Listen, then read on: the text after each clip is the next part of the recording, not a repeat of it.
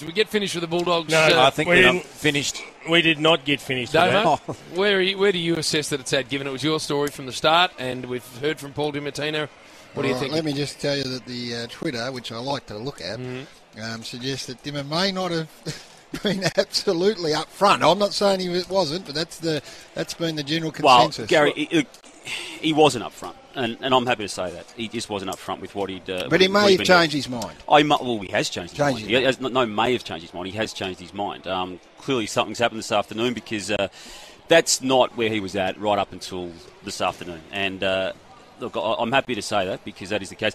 He has been meeting with guys. As I said last night in the Footy Show, he is he was he was the one name I mentioned, um, and that was the one guy I could confirm. Uh, There's other names that I couldn't confirm, and I've spoken to them today. I still reckon they're involved, but I'm not prepared to go them yet. But they have been dealing with this, and they had an intention to go and see David Smorgon, and these other guys still do.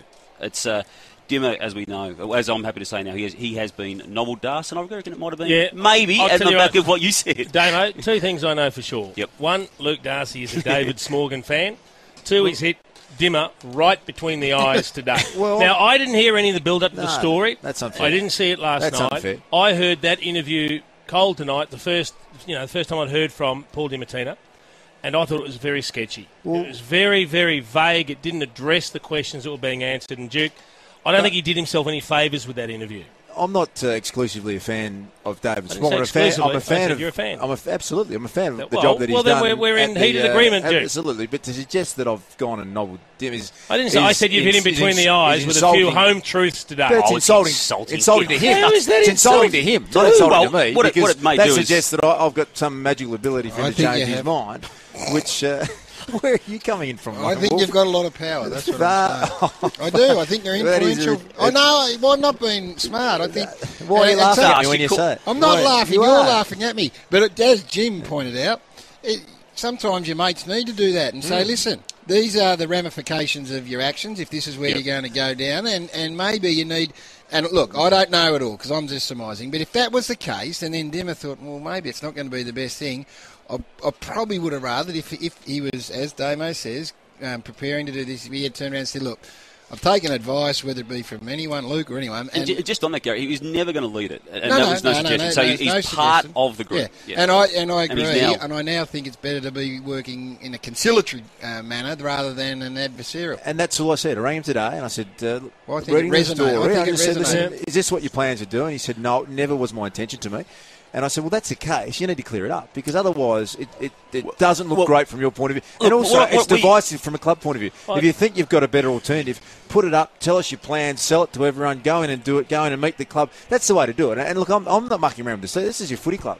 And, no- and, and you lose a few games, and this stuff's really Yep. divisive as well. So, Do it, uh, this- let me let me just put in context a no comment that went on the footy show last night. That was after it was relayed to him what I'd heard.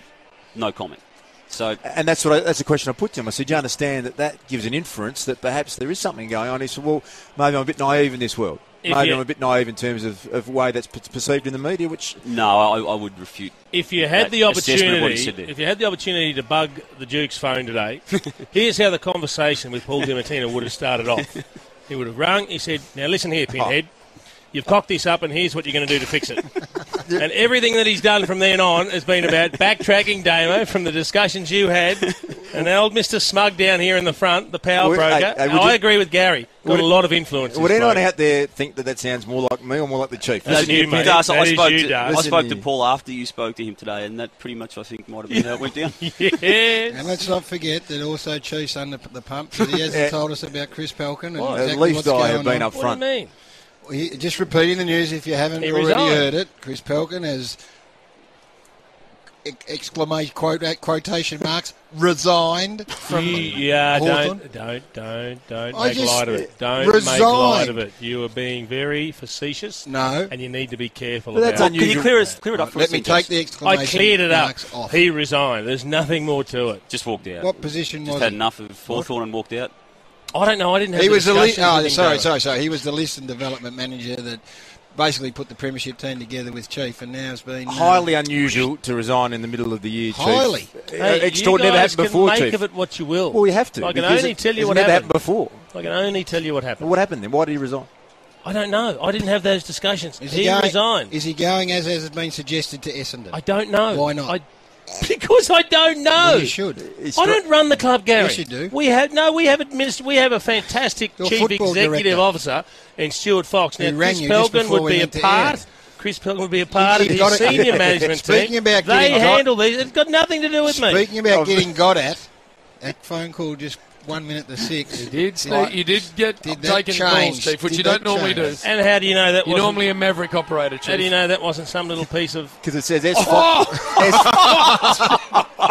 Because you had a different look on your face when you came in, Chief. Because you No, said, no, no. you say, "G'day, mate." Yeah. and no, you, and your That's the cover. That's the cover. no, you didn't say that. You went, yeah, yeah, g'day, mate. Yeah, yeah, yeah. Hang on, let me get out. Yeah, and your mate. yeah. phone says Stuart Fox on it because I glanced No, at it it. Oh. It's face down. It's fake. I had a look at it. See what I'll do, Duke.